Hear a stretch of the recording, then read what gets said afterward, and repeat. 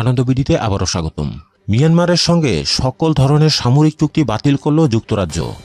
মিয়ানমারের রাখাইনে রোহিঙ্গা মুসলমানদের উপর নির্যাতনের কারণে দেশটির সঙ্গে সামরিক চুক্তিসহ সব ধরনের সামরিক কার্যক্রম বন্ধ ঘোষণা করেছে যুক্তরাজ্য। যতদিন পর্যন্ত রোহিঙ্গাদের উপর নির্যাতন বন্ধ না হবে, ততদিন সব ধরনের যৌথ সামরিক কার্যক্রম বন্ধ থাকবে বলে জানিয়েছেন যুক্তরাজ্যের প্রধানমন্ত্রী থেরেসা মে। বুধবার জাতিসংঘের সাধারণ অধিবেশনে বক্তব্য দেওয়ার সময় থেরেসা মে এসব কথা বলেন। থেরেসা মে আরও বলেন, মিয়ানমারের রোহিঙ্গাদের উপর যা হচ্ছে, তাতে আমরা খুবই উদ্বিগ্ন। রোহিঙ্গাদের উপর সামরিক পদক্ষেপ বন্ধ করতে হবে। যুক্তরাজ্যের সরকার আজ পরিষ্কারভাবে ঘোষণা দিচ্ছে, মিয়ানমারের সেনাবাহিনীকে প্রশিক্ষণ দেওয়া সহ সব কার্যক্রম বন্ধ থাকবে, যতদিন না তারা রোহিঙ্গা নির্যাতন বন্ধ করবে।